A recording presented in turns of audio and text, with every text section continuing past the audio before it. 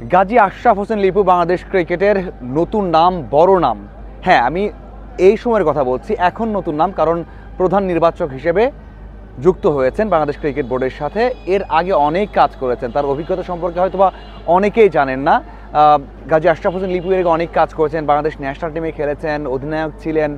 এছাড়াও বোর্ডে কাজ করেছেন, পরিচালক ছিলেন, ক্রিকেট অপারেশনসে ছিলেন, টিমের ম্যানেজার ছিলেন, অনেক কাজ করেছেন। তার অভিজ্ঞতাটা অনেক অনেক অভিজ্ঞতা।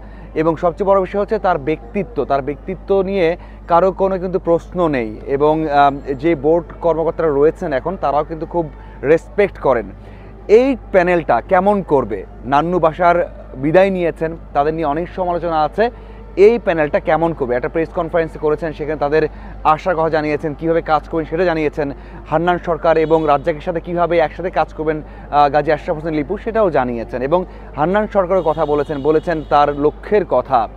লক্ষ্য ছাড়াও বোর্ড পরিচালকরা কি ভাবছেন, এখানে কীভাবে কাজটা হবে, গাজী আশরাফ হোসেন লিপু কতটা সফল হবেন, সে বিষয় নিয়ে কথা বলতে চাই। শুরু করতে চাই যে তার ব্যক্তিত্বের কথা বলছিলাম, সে বিষয় নিয়েই। তার ব্যক্তিত্বটাই বড় একটা ইম্প্যাক্ট এবং বড় একটা প্রভাবক হয়ে দাঁড়াবে এই এই বল দল নির্বাচন বা বাংলাদেশ দলের সামনের পথ চলায় কারণ হচ্ছে, তার ব্যক্তিত্ব এই কারণেই বলছি যে তার ব্যাখ্যা করার অ্যাবিলিটি কোনো একটা বিষয় নিয়ে তর্ক করা, যুক্তি করা, ব্যাখ্যা করা সেটা কিন্তু খুবই ভালো। আমরা জানি যারা আমরা ক্রিকেট ফলো করি, তার যত বিশ্লেষণ আমরা দেখেছি টেলিভিশনে পত্রিকাতে এবং তার ক্রিকেট জ্ঞান আমরা দেখেছি, তারা জানি যে কোনো একটা ক্রিকেটারকে কখন খেলাতে হবে, কখন খেলানো হবে না কোথায় কি সমস্যা হচ্ছে, সেই বিষয় নিয়ে কিন্তু অনেক দক্ষ। এবং সবচেয়ে বড় বিষয় হচ্ছে, যদি কোনো ক্রিকেটারকে তিনি বাছাই করেন বা বাদ দেন, তার যে ব্যাখ্যা হবে, সেটা আমি বিশ্বাস করি যে আগে যেভাবে ব্যাখ্যা আমরা পেতাম সে ব্যাখ্যার থেকে অনেক ভালো হবে, অনেক গোছালো হবে এবং তার যে যুক্তি হবে,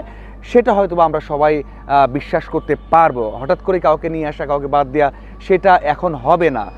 এবং সবচেয়ে বড় বিষয় হচ্ছে যে এখানে যখন গাজী আশরাফ হোসেন লিপু তার ব্যাখ্যা দেবেন হয়তো বা বোর্ড সভাপতিকে বোর্ড পরিচালকদেরকে, তখন খুবই কম লোক পাওয়া যাবে যে তার সেই ব্যাখ্যার পেছনে যুক্তিটাকে বিশ্বাস না করা বা মতামতে হা না বলা বা ইতিবাচক না বলা। কারণ আমরা দেখেছি প্রত্যেকটা বিষয়ে কিন্তু গোছালো কাজ করেন এবং সেখানে একটা জবাবদিহিতা থাকে এবং শুধুমাত্র বোর্ড পরিচালক নয়, যার সাথে সমস্যা, যাকে নিয়ে সমস্যা হয়, হাথরু সিংহে, যাকে নিয়ে সেই আগের প্রধান নির্বাচক, যাকে বলা হয় বাংলাদেশের অন্যতম সফল নির্বাচক ফারুক আহমেদ, যিনি কিনা নিজেই চাকরি ছেড়ে দিয়েছিলেন।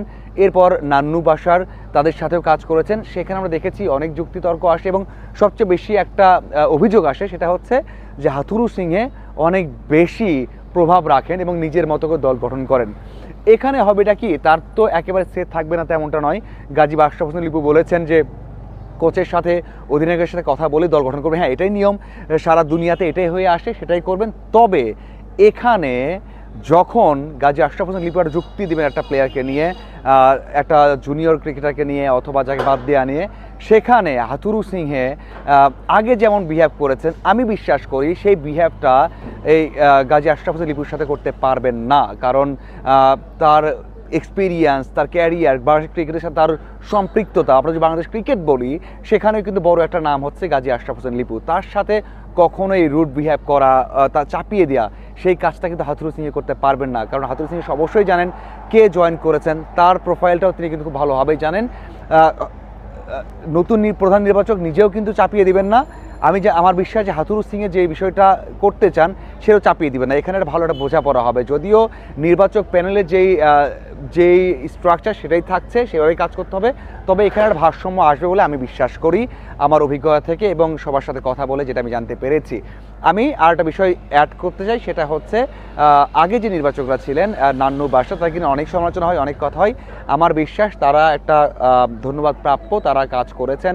তারা তাদের রিপ্লেস পাওয়া যায়নি, তাদেরকে দায়িত্ব দেওয়া হয়েছে, তারা তাদের দায়িত্বটা সৎভাবে পালন করার চেষ্টা করেছেন, সেটা আমি বিশ্বাস করি। ধন্যবাদ সবাইকে সাথে থাকার জন্য, আশা করি আপনারা সবাই ইন্ডিপেন্ডেন্ট টেলিভিশনের সাথেই আছেন, সাথেই থাকবেন এবং সবসময় ইন্ডিপেন্ডেন্ট টেলিভিশনের সব সোশ্যাল প্ল্যাটফর্মগুলো ফলো করবেন। ধন্যবাদ সবাইকে।